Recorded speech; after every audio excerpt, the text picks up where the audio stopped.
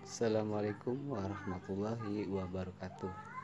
Bertemu lagi bersama saya di channel teknisi Asenes Nah kali ini saya akan membagikan cara mengatasi mesin cuci Sharp top loading 9 setengah kilo yang error E3 saat mengeringkan. Nah kemungkinan masalahnya ada di switch atau kabelnya.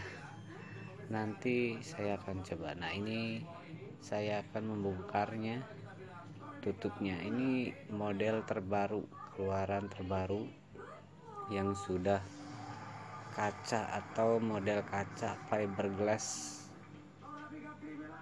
nah ini sudah saya bongkar dan ternyata terlihat di situ ada jalan tikus.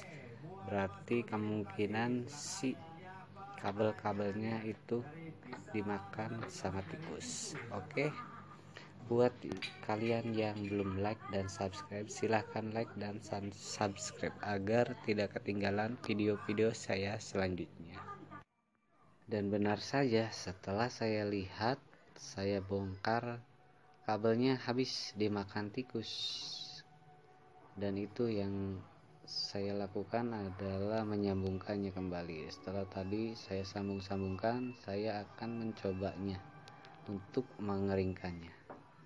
Nah saya akan coba pegang switchnya karena tutupnya saya buka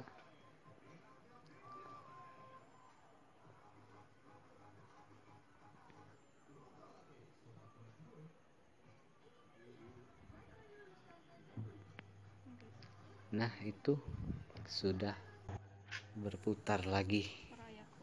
Nah berarti itu karena hanya kabel dari modul ke switchnya itu digigit tikus.